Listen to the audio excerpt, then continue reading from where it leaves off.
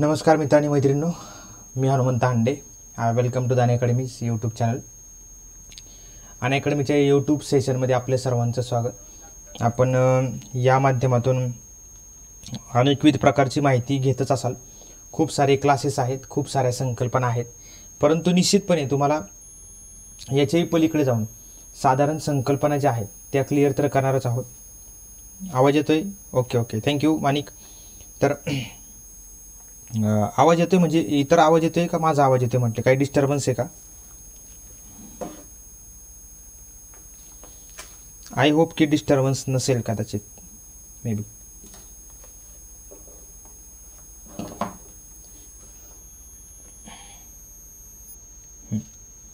चला. तर या माध्यमातून आपण ही कॉन्स्टिट्यूशनची सिरीज सुरू केलेली आहे. वास्तविक इकडे म्हणजे या संदर्भात या ठिकाणी म्हणजे आपल्या ह्या माध्यमातून यूट्यूबच्या माध्यमातून पॉलिटीविषयीचे लेक्चर्स फारशा मोठ्या प्रमाणात नव्हते. मग त्या सगळ्या गोष्टींचा विचार करून या संदर्भात आपण सुरुवात केली आहे. राहुल मंदा वेलकम सर्वांचं स्वागत. तर ही सिरीज सुरू केलेली आहे. आपण एक्सप्लेंड नावाची ज्यामध्ये आपण पहिल्यांदा काही सामाजिकदृष्ट्या महत्त्वाचे विषय घेत असायचो. आता आपण कॉन्स्टिट्यूशन आर्टिकल एकपासून सुरुवात केली आहे. जे आपण थेट प्रवास तीनशे पंच्याण्णव पर्यंत जाऊनच थांबवणार आहे.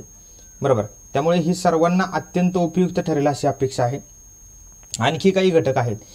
इकॉनॉमिक्सचा सेक्शन आहे जो मी प्लसवरती शिकवत आहे. महाराष्ट्राचा इतिहास देखील प्लसवर घेत आहे.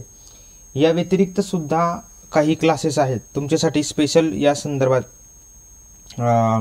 आपण त्या संदर्भात तयारी करत असलेली दिसून येतील. तर ही एक बॅच आहे. नवीन लॉन्च झालेली आहे. P S I S T I A S ओसाठी G S batch course आहे. अठरा तारखेला नुकतीच लॉन्च झालेली आहे. जास्त लेक्चर झाले नाही. लवकर एनरॉल करा. दोन तारखेपर्यंत चालेल दोन मेपर्यंत घरी सध्या बसून तुम्ही अभ्यास करतच असाल. त्यामध्ये अनेक प्रकारची मदत करण्यासाठी हे कोर्स नक्की उपयुक्त ठरतील. बऱ्याच विद्यार्थ्यांना अजूनही माहीत नाही आहे की यूट्यूबवर देखील इतक्या मोठ्या प्रमाणात सिरीज चालू झालेली आहे. बरोबर. त्यामुळे यस दयानंद स्मिता वेलकम सगळ्यांचं स्वागत. तर बऱ्याच जणांना हे माहीत नाही की यूट्यूबवर देखील मोठ्या प्रमाणात ही सिरीज चालू झालेली आहे. मग त्यामुळे तुम्ही प्लसमध्ये नक्की या. या अंतर्गत तुम्हाला काही अडचणी आल्या तर मला मेसेज करा. मेसेज करण्यासाठी तुम्हाला टेलिग्राम आय डी वापरता येईल. हा रेफरल कोड जो आहे हा रेफरल कोड वापरता येईल तुम्हाला ॲडमिशन घेताना. खरं तर आत्ता परिस्थिती अशी आहे की आपण आत्ताच्याच काळामध्ये कष्ट योग्य प्रकारे करता आले पाहिजेत. कारण परीक्षा कधीही अचानकपणे घोषितही होईल किंवा कन्फर्मेशन पण होईल. अजूनही बऱ्याच विद्यार्थ्यांना वाटते की परीक्षा कदाचित त्या टाईमवर होणार नाही. परंतु असं नाही आहे कदाचित काही होऊ शकतं. आरोग्याची परिस्थिती बिघडली तर सांगता येत नाही परंतु परिस्थिती नक्की सुधारेल असं अशी आशा व्यक्त करूनच आपण पुढे पाहिलं पाहिजे. त्यानंतर हा डेली स्पेशल क्लासचा डोस आहे. बरोबर. पी वाय क्यू आहे. पी वाय क्यू म्हणजे previous year question paper marathon series. आज हा क्लास जो आहे तो सात पी एमला आहे. लक्षात ठेवा सात वाजता आहे संध्याकाळी. इकॉनॉमिक्स आणि पॉलिटी या दोन विषयांच्या बाबतीतले जे काही मागील वर्षीच्या सगळ्या प्रश्नपत्रिका आहेत सगळ्या त्या सगळ्या प्रश्नपत्रिकांचं विश्लेषण करून आपण सखोल त्याबाबत या संदर्भात मार्गदर्शन करत असतो. हर्षदा वेलकम. सगळ्यांचं स्वागत. मग अशा वेळी या संदर्भात सर्वांसाठी हा फ्री आहे याची लिंक जी आहे ती तुम्हाला माझ्या प्रोफाईलवर मिळेल किंवा टेलिग्राम आय डीवरती देखील मिळेल. टेलिग्राम चॅनलवरती देखील याची लिंक तुम्हाला मिळून जाईल. मला टेलिग्रामवरती क- जे काही संपर्क आहे तो साधण्यासाठी या आय डीवरती तुम्ही मला मेसेज करू शकता. At the rate Hanumant Hande.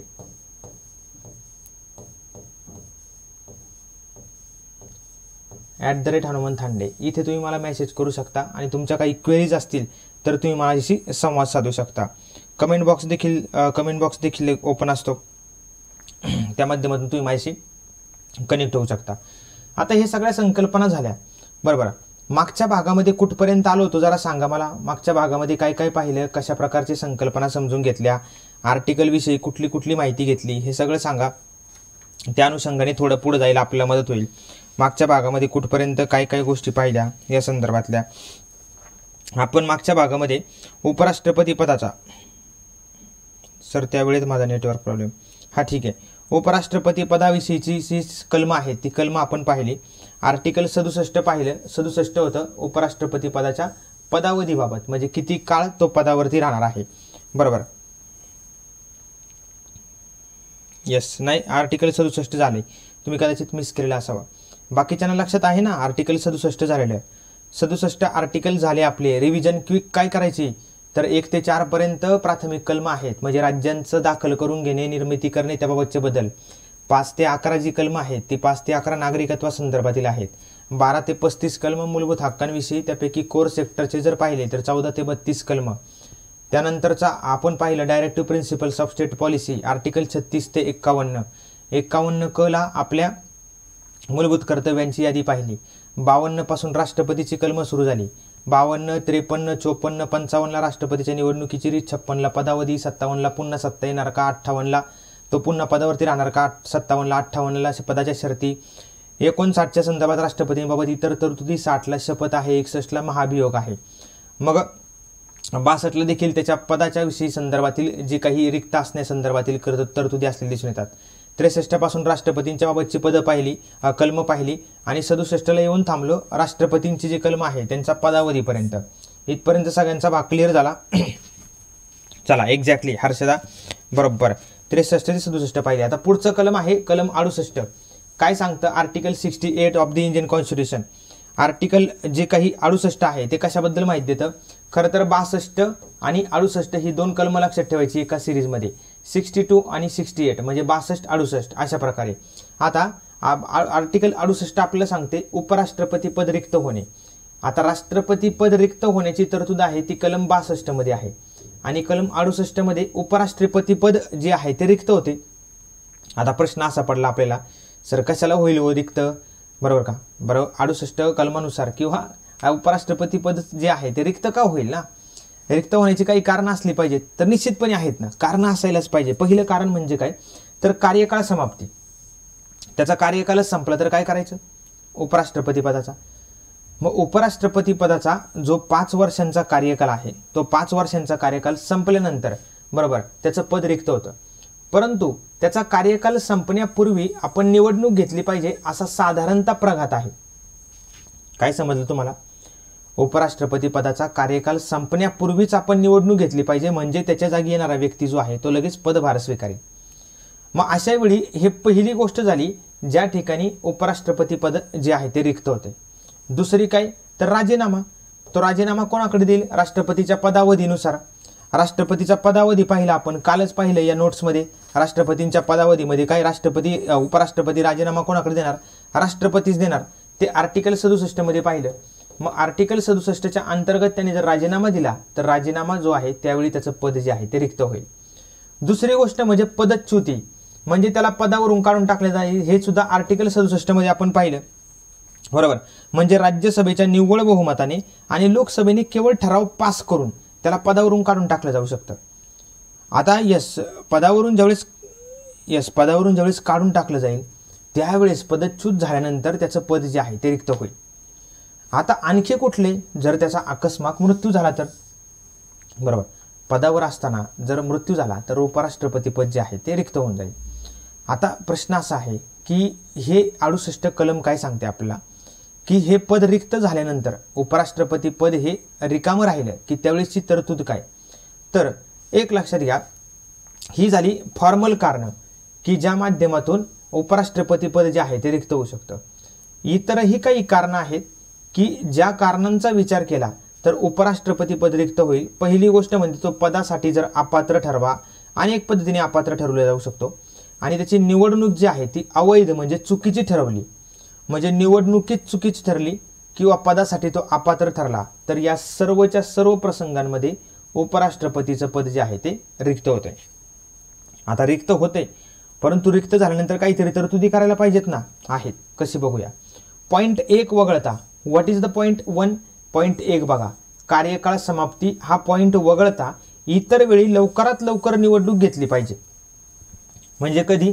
जर राष्ट्रपतीने राजीनामा दिला तो पदच्युत झाला त्यानंतर मृत्यू झाला पदासाठी अपात्र ठरला निवडणूक त्याची अवैध ठरवण्यात आली तर या सर्व प्रसंगी त्याची निवडणूक जी आहे ती लवकरात लवकर घेतली कधी ते नाही परंतु लवकरात लवकर घेतली जावी. मग एकमध्ये का नाही तर एकची ऑलरेडी आपण डिस्क्रिप्शन पाहिलं. की एकमध्ये कार्यकाळ समाप्तीनंतर संपण्यापूर्वीच निवडणूक घेतली पाहिजे दॅट्स ऑल ह्याला म्हणायचं भारतीय राज्यघटनेचं अगदी मायन्यूट लेवलला जाऊन केलेलं विश्लेषण. समजले चला रिप्लाय करा एकदा. एकदा तुमच्याशी संवाद साधतो आणि मग पुढे जाऊ.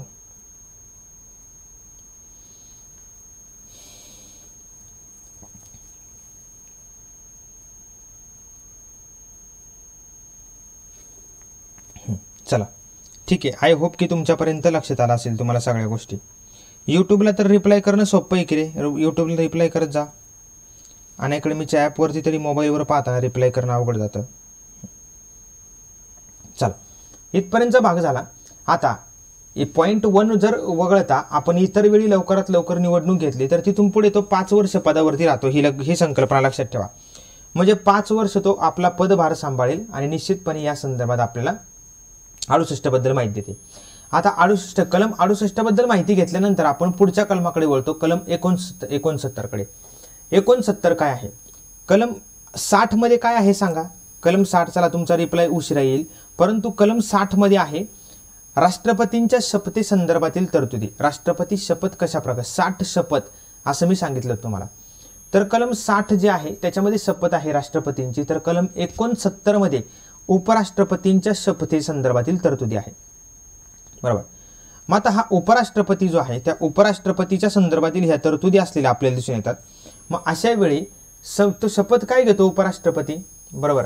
संविधानाबद्दल खरी श्रद्धा व निष्ठा बाळगील. पदाचे कार्य प्रामाणिकपणे पार पाडील. म्हणजे संविधानाबद्दल खरी श्रद्धा आणि निष्ठा बाळगील आणि पदाचे कार्य प्रामाणिकपणे पार पाडील. देशाच्या लोकांप्रती जनतेप्रती अशा प्रकारची कुठलीही तरतूद याच्यामध्ये नाही. हा फॉर्मॅट परीक्षेला विचारला जाऊ शकतो. तुम्ही काय करा? तुम्ही सर्च करा. उपराष्ट्रपतीला शपथ कोण देतं? बरोबर का? शपथ कोण देतं हे सर्च करा. मग संविधानाबद्दल निष्ठा आणि श्रद्धा बाळगणे आणि पदाचं कार्य प्रामाणिकपणे पार पाडणे. याच्या व्यतिरिक्त तरतूद नाही. जर विचारलं गेलं जर विचारली गेली तर आपल्याला ह्याची डिटेल विचारली जाऊ शकते. की नक्की काय आहे? आता जसं मी तुम्हाला म्हणलं राष्ट्रपतींच्या शपथेबाबत ज्यावेळेस आपण विचार केला किंवा राष्ट्रपतींच्या शपथेबाबत आपण ज्यावेळेस या संदर्भातील माहिती घेतली. बघा राष्ट्रपतीची शपथ काय सांगते? कर्तव्य निष्ठापूर्वक पार पाडेल. म्हणजे इथं वेगळं काय आहे राष्ट्रपतींबाबत? कर्तव्य. बरोबर. कर्तव्य निष्ठापूर्वक ज्या संदर्भात पार पाडेल. आणि त्यानंतर कायदा व संविधान यांचे संरक्षण आहे. कायदा? कायदा व संविधान. कायदा व संविधान याबाबत आहे. आणि भारतीय जनतेचं कल्याण जनतेचे कल्याण आहे. भारतीय जन हे तीन घटक आहेत. आणि इथं काही संविधानाबद्दल खरी निष्ठा आणि श्रद्धा आणि पदाचे कार्य प्रामाणिकपणे. हा बेसिक डिफरन्स आहे राष्ट्रपतींची शपथ आणि या संदर्भात उपराष्ट्रपतींची शपथ. इथे आपल्याला येस पूजा एक लक्षात घ्या. बऱ्याच जणांचं असं म्हणणं आहे की नोटिफिकेशन येत नाही. पहिली गोष्ट तुम्हाला सांगतो. इट इज युअर रिस्पॉन्सिबिलिटी ही तुमची जबाबदारी आता की रोज नऊ वाजता आपलं लेक्चर असते मी बऱ्याचदा सांगितलं. रोज नऊ ए एमला आहे. बरोबर रोज. तर रोज नऊला असेल तर रोज नऊचा तुम्ही जो काही टाईम आहे तो फिक्स ठेवा. आपण आर्टिकल सत्तर पर्यंत आलो आता. एक ते सत्तर आर्टिकल झाले आपले. मग बऱ्याच लोकांना महाराष्ट्रात माहीत सुद्धा नाही आहे की अशी पण सिरीज यूट्यूबला चालू आहे. आर्टिकल एक पासून तीनशे पंच्याण्णवकडेचा प्रवास चालू आहे हे लोकांना माहीतच नाही आहे तर आता ही तुमची स्वतःची जबाबदारी आहे की हे सगळं तुम्ही लक्षात ठेवायचं.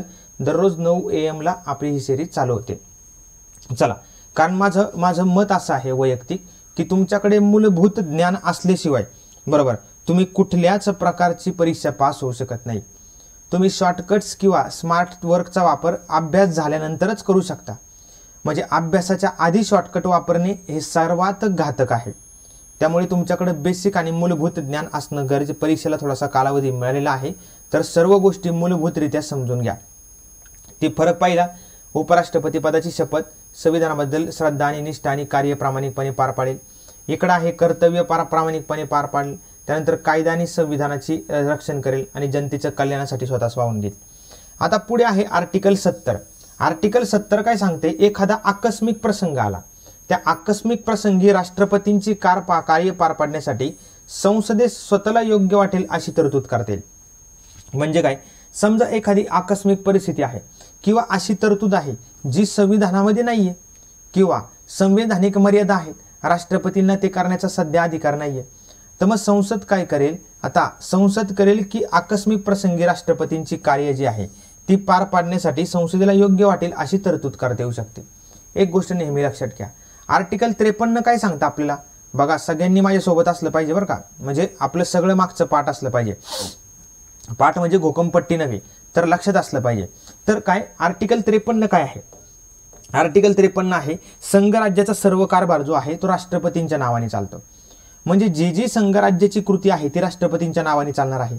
मग राष्ट्रपती समजा कुठलीही कृती मग राष्ट्रपतींच्या नावाने चालेल. मग इथं काय सांगितलंय? राष्ट्रपतींची कर्तव्य आहेत. बरोबर आकस्मिक प्रसंगी. म्हणजे संघराज्यामध्ये काही आकस्मिक गोष्ट झाली तर ती राष्ट्रपतींच्या नावानेच चालणार आहे. मग तिच्याबाबत तरतुदी करण्याचा अधिकार संसदेला असलेला आपल्याला आर्टिकल सत्तरमध्ये दिसून येतो. समजलं?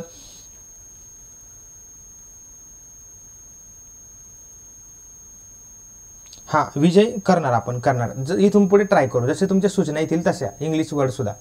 आता हे आर्टिकल सत्तर आहे. मग आकस्मिक प्रसंगी राष्ट्रपतींचे कार्य पार पाडण्यासाठी कोणाला तरतूद करता येईल तर संसदेला तरतूद करता येईल म्हणजे आर्टिकल त्रेपन्न इथे आपल्याला दिसून येते की भारताच्या सर्व संघराज्याचा कारभार राष्ट्रपतींच्या नावाने चालतो. पण संघराज्याकडे अशी तरतूदच नाहीये की जिथे त्याच्यावरती काम करू शकतात. मग अशी नवीन तरतूद करून राष्ट्रपतींना तो अधिकार प्रदान करण्यासाठी संसद जो आहे तो तरतूद करू शकते. एकोणसत्तर सत्तर झालं. एकाहत्तरकडे वळूया. ह्या दोघांच्या निवडणुका राष्ट्रपती आणि उपराष्ट्रपतींच्या निवडणुकीसंदर्भात झाला वाद निर्माण. बरोबर?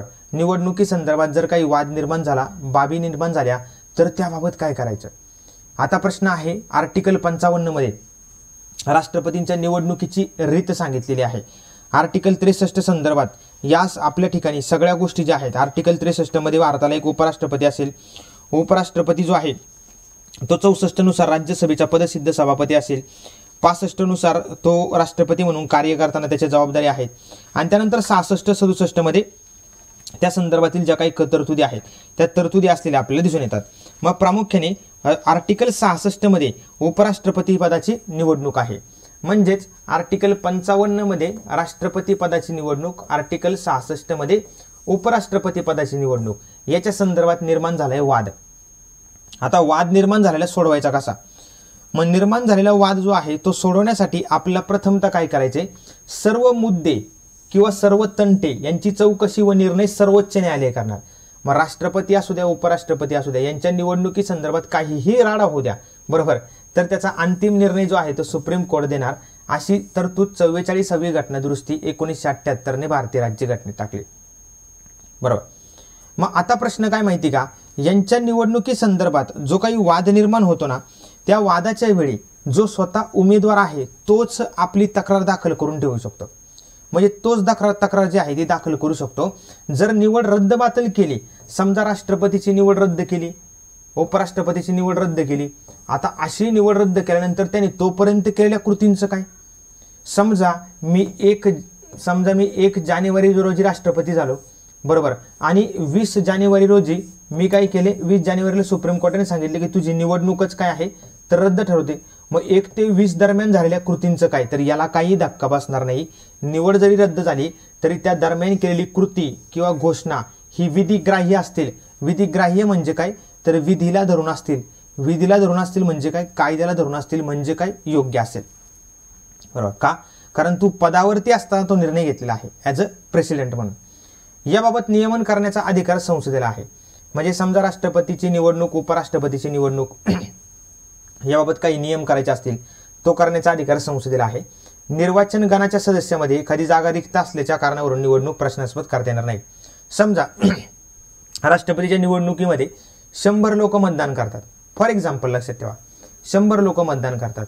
त्या शंभर लोकांपैकी मी समजा राष्ट्रपती म्हणून निवडून आलो आणि मी काय म्हणतोय हे शंभर लोकांमध्ये दोन लोक नव्हती. मग ह्या दोन लोकांना बोलवा त्यांचं मतदान घ्या आणि मग माझी निवडणूक ठरवा. तर असं काही करता येणार नाही.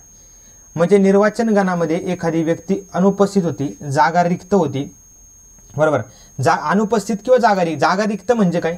ह्या दोन जागाच भरलेल्या नाही आहेत समजा शंभर लोक आहेत टोटल सदस्य संख्या आहे. त्यापैकी अठ्ठ्याण्णवच लोक भरलेत दोन जागा रिकामी आहेत. तर मी असं म्हणू शकत नाही ह्या जागा पहिल्यांदा भरा. मग माझी निवडणूक करा. ही याच्या मागची बेसिक लॉजिक आहे.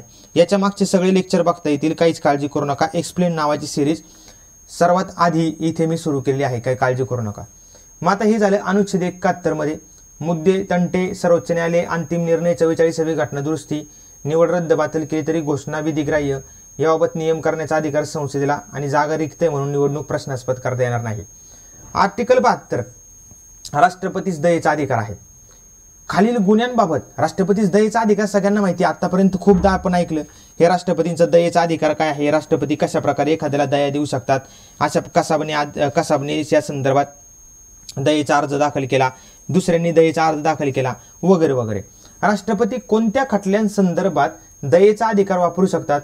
तर शिक्षेत बघा काय काय वापर शिक्षेत माफी मिळू शकते. आता शिक्षेत माफी म्हणजे काय? तर थेट तुम्हाला पारडॉन करणे. म्हणजे पारडॉन म्हणजे काय? तर निवाडा आणि शिक्षा ह्या दोन्हीही बाबी दूर केल्या जातात आणि याशिवाय सगळ्या स्वरूपातल्या शिक्षेपासून त्याला मुक्त केलं जातं ही शिक्षेत माफी आहे. आता प्रश्न आहे सूट किंवा सवलत देणे. आता सूट किंवा सवलत म्हणजे काय? काही विशिष्ट प्रसंगी बरं का कम्युनिटे कम्युटेशन म्हणतो याला आपण म्हणजे पर्याय म्हणून अन्य शिक्षा दिली जाते. म्हणजे फाशीच्या शिक्षेच्या ऐवजी समग्र कारावासी शिक्षा. मग शिक्षा कमी क शिक्षा कमी करणे म्हणजे दोन वर्षी शिक्षा असेल तर एक वर्षाची शिक्षा होऊ शकते. शिक्षा निलंबित किंवा रद्द करणे. म्हणजे शिक्षा सस्पेंड पण केली जाऊ शकते. लक्षात. शिक्षा सक्सेन सस्पेंड म्हणजे तहकूब पण केली जाऊ शकते. मग गुन्हेगाराला पुरेसा अवधी मिळावा. त्याला सर्वसाधारण टाईम मिळावा. ही तरतूद आहे.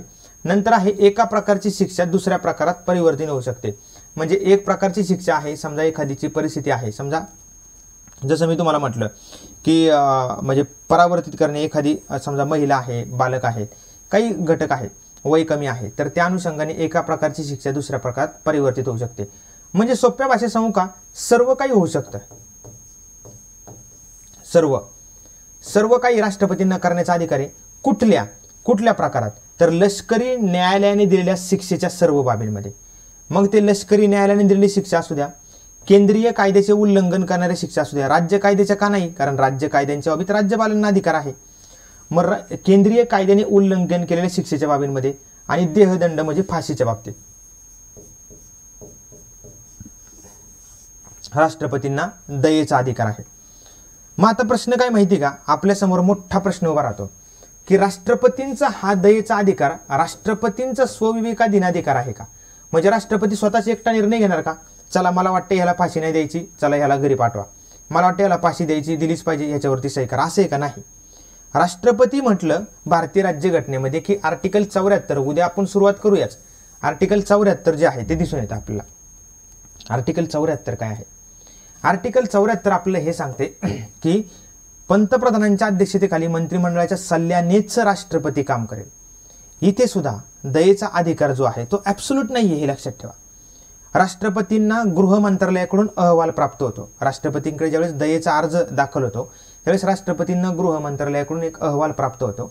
त्या अहवालावरती राज्य राष्ट्रपती विचार करतात आणि विचार विनिमय करूनच मगच निर्णय दिला जातो. म्हणजे गृह मंत्रालयाच्या सल्ल्यानेच हे सगळं काम होत असलेलं आपल्याला दिसून येतं. अशा प्रकारचे ज्या बेसिक गोष्टी आहेत बारीक सारीक गोष्टी आहेत त्या गोष्टी आपल्याला माहिती पाहिजेत. हा लक्षात.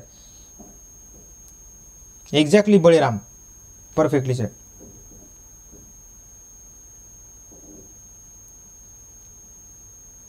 बरोबर. अशा प्रकारे. चला नाही विजय ह्या सगळ्या बाबतीत दाखल करता येऊ शकते. लष्करी न्यायालय केंद्रीय कायद्याचे उल्लंघन सगळ्या बाबतीत. मग तसं जर असतं फक्त देहदंडाच्या बाबतीत तर मी तर सूट सवलत शिक्षा कमी करणे हे आलंच नसतं. मग एका प्रकारची शिक्षा दुसऱ्या प्रकारामध्ये परावर्तित करणे हे आलं नसतं. मग या सगळ्या कायद्यांच्या बाबतीत राष्ट्रपतींना दयेचा अधिकार आहे. त्यानंतर संघराज्याच्या बाबतीतलं राष्ट्रपतींच्या संकल्पनेतलं शेवटचं कलम म्हणजे काय? तर त्र्याहत्तरावं. संघराज्याच्या शक्तीची व्याप्ती. आता संघराज्याच्या शक्तीची व्याप्ती म्हणजे काय? जे भारतीय संघराज्य आहे त्याची कार्यकारी अधिकार कुठपर्यंत चालणार? हे सोपं कलम याच्यावरती कधी प्रश्न विचारला जात नाही परंतु माहिती असू द्या. याचा अधिकार कुठपर्यंत चालणार? तर या व्याप्तीमध्ये ज्या बाबतीत संसदेस कायदे करण्याची शक्ती आहे त्या बाबी. म्हणजे काय? ज्या बाबतींमध्ये संसद कार्य करू शकते कायदे करू शकते तिथपर्यंत संसदेचा अधिकार आहे. बरोबर? मग अशा वेळी त्याच्यामध्ये तह करार किंवा अन्य भारत सरकारला वापरता येण्यासारखे अधिकार. यांचा देखील समावेश होतो. म्हणजे सोप्या भाषेत याचा काय अर्थ होऊ शकतो? सोप्या भाषेत याचा अर्थ होतो संसदेला जिथपर्यंत कायदा करण्याची शक्ती आहे बरोबर तोपर्यंत संसदेच्या संघराज्य म्हणजे संघराज्याच्या शक्तीची व्याप्ती आहे. संघराज्य कुठपर्यंत? जोपर्यंत संसद कायदा करू शकते तिथपर्यंत. आता याच्यामध्ये असं होऊ शकतं का मग? की संसद राज्यांसाठी पण कायदा करू शकते? नाही. तोच अपवाद आहे.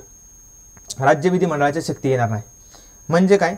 तर संसदेला कायदा करण्याचा अधिकार आहे. याचा अर्थ असं नाही की संसद महाराष्ट्र राज्याचा कायदा करण्याचा अधिकार काढून घेईल किंवा पश्चिम बंगालचा कायदा करण्याचा अधिकार काढून घेईल.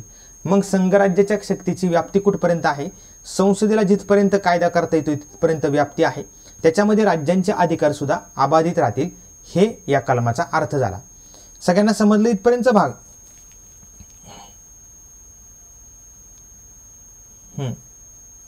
सगळ्यांना समजलं का इथपर्यंत भाग? लोकसभेचा रोलच नाही पूजा याच्यामध्ये. लोकसभेचा रोल असतं तरच या संदर्भात. हां समजा हा तुम्ही म्हणले की बाबा राष्ट्रपतींचं द्यायचं ते पेंडिंग राहतं मग. मग त्याशिवाय अहवाल आल्याशिवाय राष्ट्रपती पुढची कृती करत नाही. चला थोडंसं प्रश्नांच्या बाबतीत वळूया आपण. एखाद दुसरा प्रश्न पण पाहूया. रोजचा आपण बदलले स्ट्रक्चर आता. प्रश्न पण पाहायला लागलो आपण आता. रिप्लाय करा एकदा. सगळ्यांनी एकदा रिप्लाय करा. चला ठीक आहे. जे रेग्युलर आहेत त्यांचे तर रिप्लाय आले. बाकीचे बघा आता कसं करायचे राज्यासाठीच्या मार्गदर्शक तत्वांच्या संदर्भात पुढीलपैकी कोणता किंवा कोणतं विधान योग्य आहे? देशात सामाजिक आर्थिक लोकशाही प्रस्थापित सॉरी सामाजिक आणि आर्थिक लोकशाही प्रस्थापित करण्यासाठी ची तत्वे याच्यामध्ये आहेत या भागात समाविष्ट असलेली तत्वे ही न्यायप्रविष्ट नाहीत. म्हणजे न्यायालयात जाऊ शकत नाही. चला बघा प्रश्न बघा आणि रिप्लाय करा.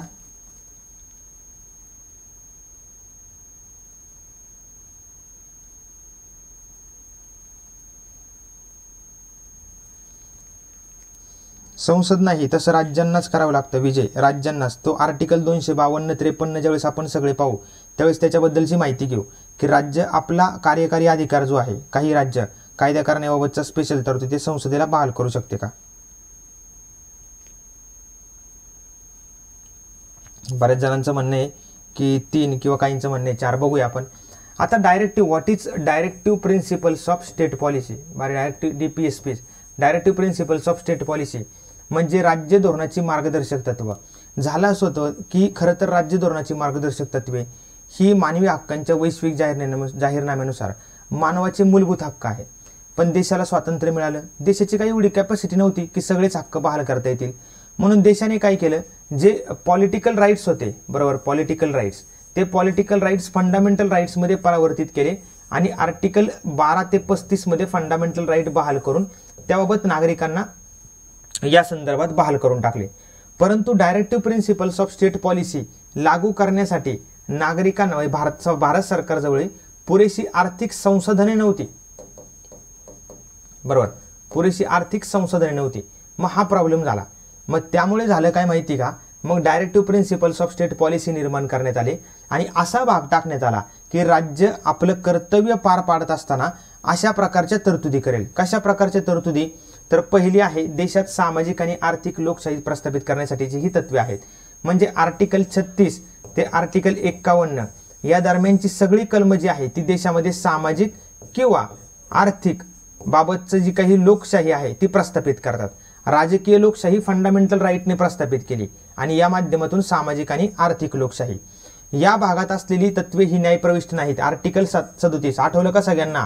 रिप्लाय करा मी वाट बघते आर्टिकल सदोतीस.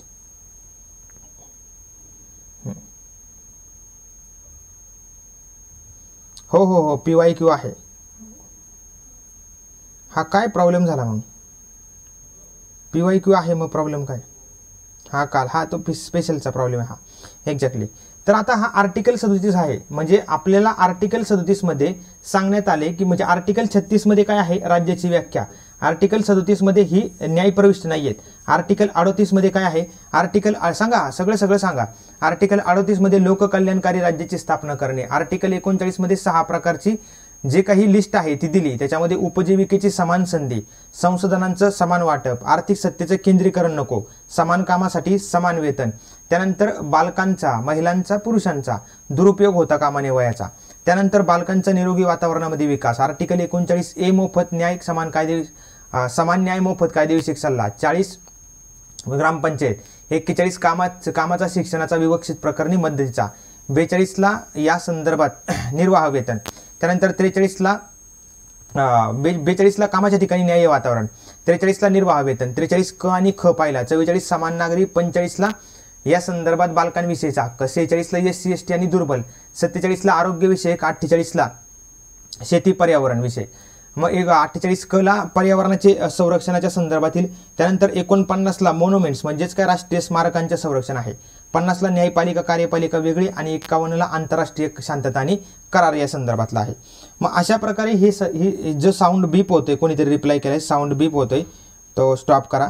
तर तो टेक्निकल प्रॉब्लेम आहे. सॉरी फॉर दॅट आणि तुम्ही थोडंसं ॲडजस्ट करा. I am really sorry for that technical problem आहे. आपण रोजच लेक्चर घेतोय त्यामुळे थोडंसं तुम्ही समजून घ्या. आता हे झालं मग ही दोन्हीही विधानं बरोबर आहेत हे समजून घ्या. मग हे जरी पी वाय क्यू असले तरी प्रश्न कुठल्या स्वरूपात विचारला जाऊ शकतो? आपल्याला हे माहिती पाहिजे. अशाच प्रकारचे अनेक प्रश्न आहेत की तुम्ही ज्यावेळेस नागरिकांची मूलभूत कर्तव्य पाहता फंडामेंटल ड्युटीज लोकशाही राष्ट्रांमध्ये मूलभूत कर्तव्यांना जास्तपणे राज्यघटनेत समाविष्ट करण्यात आलं नाही.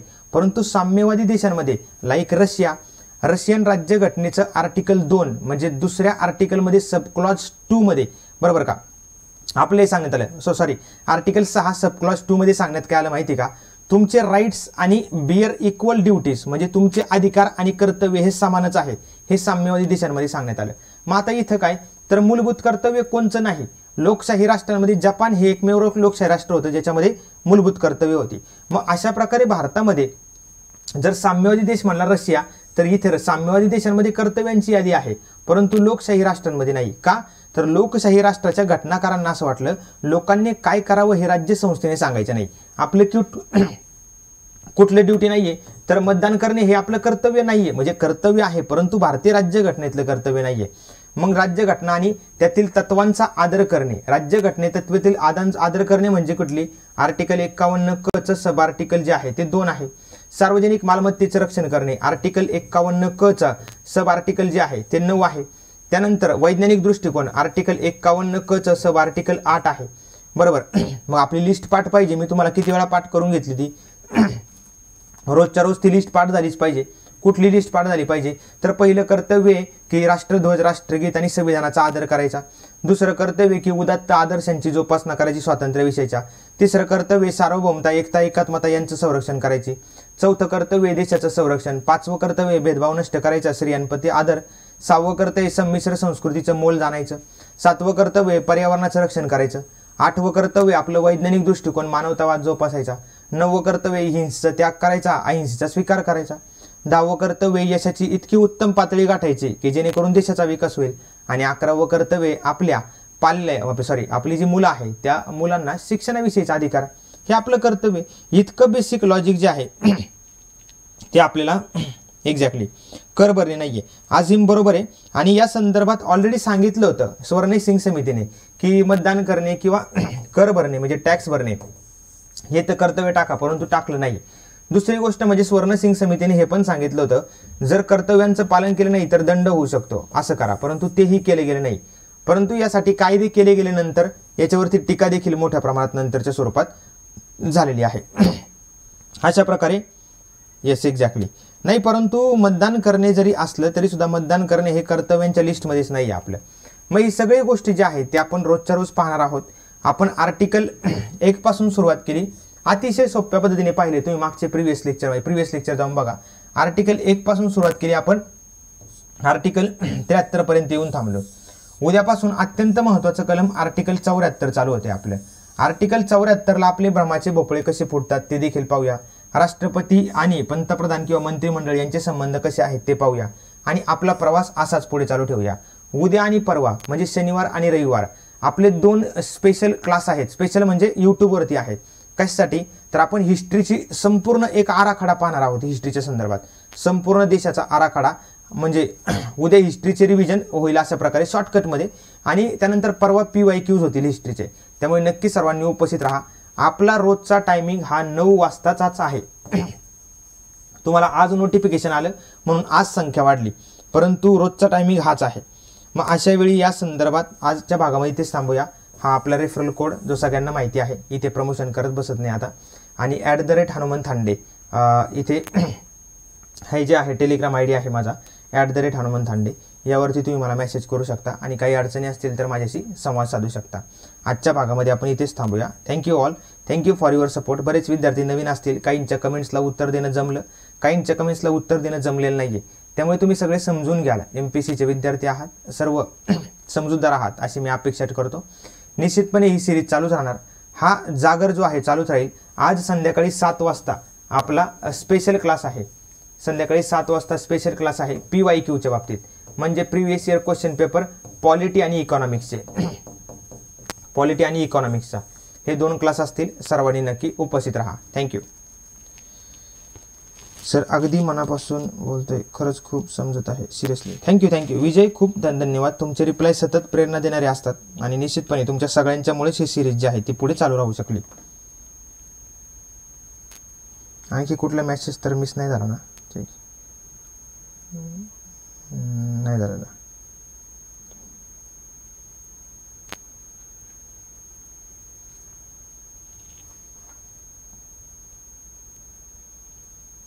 अक्षयचा एक राहिला होता. इंग्लिशमध्ये पण क्वेश्चन दाखवा. ठीक आहे आपण प्रयत्न करू.